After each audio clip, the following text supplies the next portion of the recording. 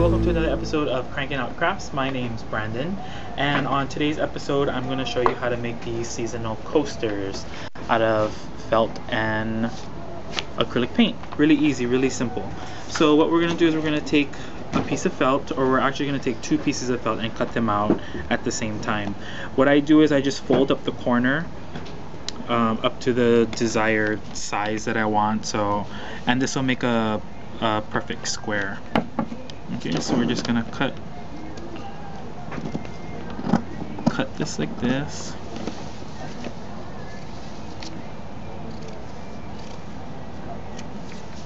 Okay, and then you have a square. Okay, and then on this side we're gonna do our painting. I'm gonna show you how to do the leaves and how to make the leaves very colorful like this. So we're gonna take this, we're gonna squirt our paint onto just a piece of foam core and I'm gonna squirt all three colors. I just have red, yellow, and green.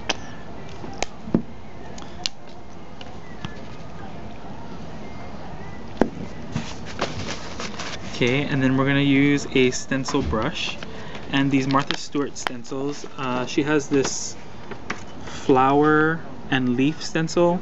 There's uh, poinsettias in there also, uh, pine cone, some good some good Christmassy Christmassy stuff. Okay, and then we're gonna put our leaf stencil down. Maybe I'll do it this way so you can see. Okay, so we're gonna put that down and for us to get a good clean clean image we're gonna use this stencil brush and we're just gonna dab onto the onto the stencil.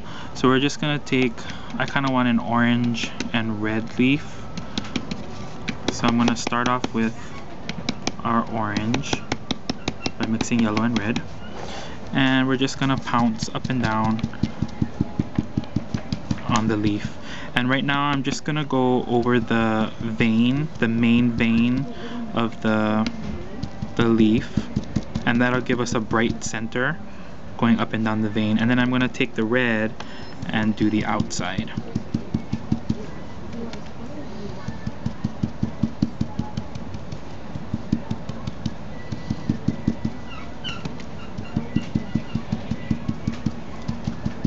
and going up and down like this will prevent you from getting your paint underneath your stencil. Sometimes when you brush you're gonna get underneath the stencil that's preventing the paint and it'll ruin your image.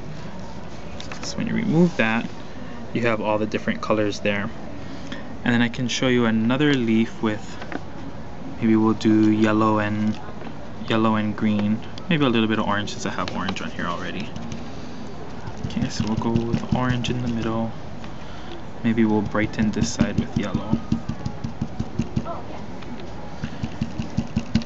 And the good thing about acrylic is they blend they blend really well.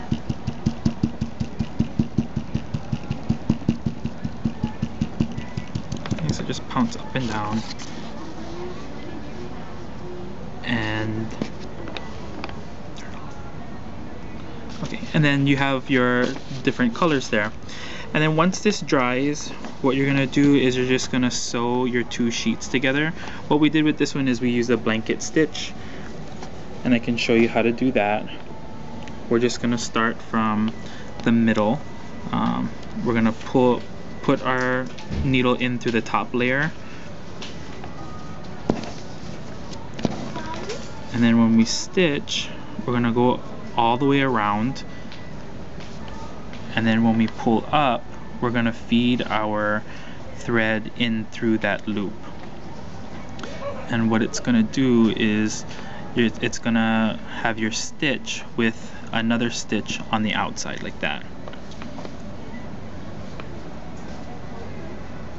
And then you just do that all the way around.